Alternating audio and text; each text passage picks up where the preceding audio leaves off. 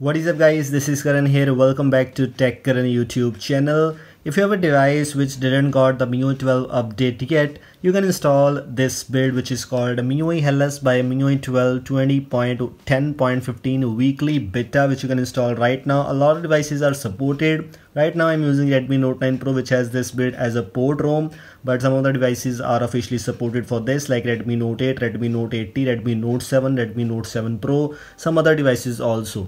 The link for all the devices is in the description and is it worthy to install this build by unlocking your bootloader and installing a custom recovery on your device? I'm gonna share with you a lot of things about this build so let's get started.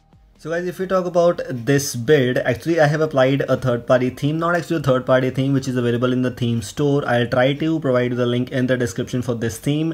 You might love this theme. The link is in the description. You can go and install this. And if you don't know how to install this theme on your device, if you use this build which is MIUI Hellas, you can easily import the theme and apply it directly. If you use any stock ROM or other things like that, you can simply use a MIUI theme editor for that. The link for that video is also in the description. You can go and install this right now i'm using this latest MIUI 12.2 by Xiaomi MIUI GR for Redmi Note 9 Pro it's available as a port ROM for other devices it might be available as official one also. So you can go and install that. Link for all those things is in the description. If we talk about this build is it worthy to install this build right now on a device? Let me show you the things which you get here. If we talk about the control center yes it is available here. Actually i have applied this normal MIUI 11 control center MIUI 11 quick settings which looks better by the way but yes you can install that one also. Let me show you by going into settings here if you go to the display in previous builds if you talk about some beta builds if you go to the display option you will see your full screen mode and you will see the hide notch and control center option. But now it's shifted here notifications and control center which UI looks very interesting. You can choose the control center style to old version or the new version. So yes almost every feature from MIUI 12 is available here. It's better to unlock your bootloader install a custom recovery and install this build. Now I have just chosen this one. You also got the option of switching the control center side. So yes you can easily switch the control center side to here or here. You can simply choose. By default it will be from the right side as we have just enabled the switch from here. So you will see your control center like this. I've enabled the, third party theme so that's why these styles are looking like this but looks better. Of course you can easily use these kind of themes if you want to. Also we have a lot of extra things available here. Let me tell you which are the things you get here. Notification shade which you can customize if you go to the notification shade. You can easily expand the top notification which is very interesting things. Uh, and also you can choose the notification style to MIUI or Android. It's better choose the Android one so you can easily apply directly from the notifications which I sometimes use in AOSP ROMs. So it's one of the great things out there also we have the smart home option available. I don't have these kind of things so i cannot show you.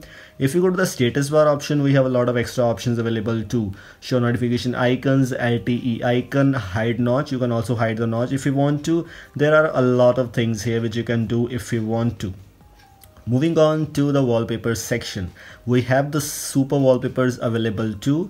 By default, these wallpapers are not supported for a lot of devices, including Redmi Note 8, Redmi Note 7, I think also Redmi Note 9 Pro is also not supported for these super wallpapers. But yes, if you install this build, you will get super wallpapers available here too. By the way, you also get some system wallpapers too. So if you don't want to apply the super wallpapers, you can use the system wallpapers. There are a lot of options available. Geometric like the normal nature patterns, dynamic nebula. We have the minimalism, black and white, Mars, a lot more things are available. These are the things kind of available in almost every device, whichever you use like MIUI Hellas ROM. So don't worry about that. If you go to the sound and vibration, we have the main kind of features which are like this in same MIUI 12 12 so almost every feature from MIUI 12 is present there so no issues here and there. If we go to the home screen we have the home screen option to choose a classic one or with app drawer.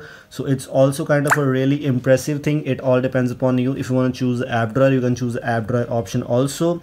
Swipe up on the home screen you can choose a search one or none. It all depends upon you. Home screen search bar option is available here. You can customize your minus one screen too there are a lot of options which you can do and by default if you choose the Indian build or global stable you will not see these kind of features. So yes it's better to choose these kind of things. Password and security has a face lock fingerprint screen lock almost every feature from neutral looks kind of really really interesting.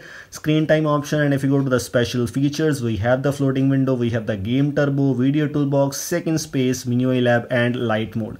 A lot more things are available which you can do on this build. It's better to choose this build instead of choosing for waiting for the new builds which are coming i'm not sure when. So it's better choose these kind of things. Also if you go to the theme store let me tell you about the theme store first of all also this has almost same kind of chinese theme store out there where you can customize the themes. We have a lot of wallpapers. Including that we have a dynamic wallpapers available too. So dynamic wallpapers are kind of really interesting. I've applied it on my redmi note 8 device. Looks really impressive. Ringtones fonts and icons options are available too. So if you want to customize these kind of things you can also customize theme components lock style status bar icons messaging. These kind of things are out there which you can customize if you want to. The link for this page including the theme everything is in the description. You can simply go and install this. Now this is all. Thanks for watching. Goodbye